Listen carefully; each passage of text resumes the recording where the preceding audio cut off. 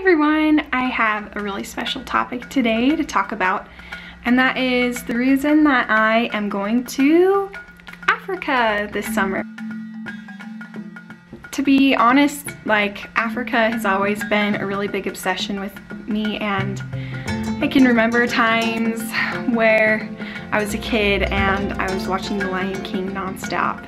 I would watch it at least once a day, you know, pop it in the VCR. And I just, I loved the African music. I loved all the animals and I loved just everything about the Lion King. As I got older, I did some other things that I just felt like a little pull towards Africa. I can think of reading a book called Kisses from Katie and it's a really great book. Um, I recommend everyone should read it. And this girl named Katie just leaves everything behind to go to Uganda and she stays there for a really long time.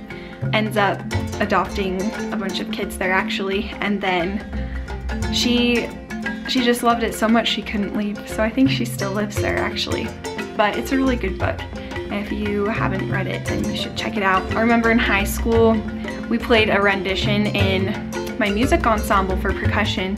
We played a rendition of Toto's Africa, you know, bum bum bum ba dum bum bum. And I really, I really love that song. So that song's been stuck in my head pretty much since high school now. Just like along the way, um, especially with my my music degree, I studied so many different world cultures and world musics. And this last semester I studied a lot about African culture, a lot about African music, and just how that's such a big part of their lives. It's not just like music is a hobby, but it's it's a way of life. It's something that brings your family together. It's something you do while you're working. I really want to go experience Africa. I want to go see the music. I want to go meet the people there. Something else that led me to wanting to go to Africa was my little sister Josie. Josie is not from Africa, but I'm sure that her ancestors are. And every time I look at her, I just think of all the little African kids um, that are waiting for me to come meet them. I feel like if everyone in the world was able to give a little bit of their time to go do something great, then we could change the world. It's so important to me that we all take a little bit of time to get outside ourselves. If you are never vulnerable, then you can never grow. I don't know about you, but I don't want to be stuck in my comfort zone my whole life and I constantly love pushing myself and pushing other people, even sometimes, to learn and to experience life. There's so much more than just the little hole that you've been placed in. I mean, I'm sure it's a great hole and it's your life, but everyone's lives are so intertwined and there's so much to learn about other people and other cultures. And I think it's so important for us to get out there and learn more about them. One of my other big um, deciding factors was I served a mission for my church. And although I was hoping to go to Africa, I was needed other places. And that other place that I was needed was in the South. I went to Mississippi and Louisiana for a year and a half. I lived there and I devoted my life to serving others basically, teaching them um, about the things that mean the most to me and just helping. I actually got to work with a lot of people that may be from Africa or their ancestors are. And my mission impacted my life so much. I want to go on another kind of mini mission now to Africa.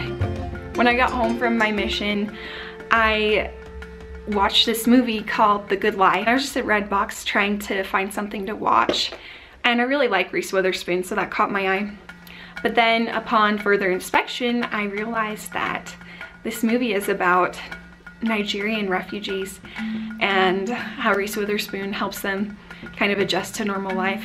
And they had been through so much and I just, sometimes I can't believe how different people's lives are and, you know, these people didn't even know how to sit at a table and eat or sleep on a bed. They never had that luxury. And it was just, just an eye-opener to me that there's so much that we can do.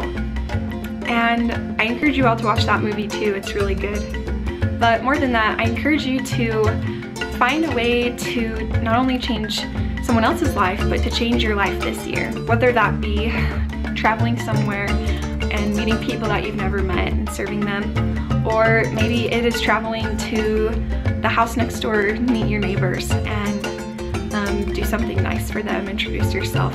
If we all did something small every day to help someone else, I know that there would be a lot less problems in the world. And so that's my challenge for you this year.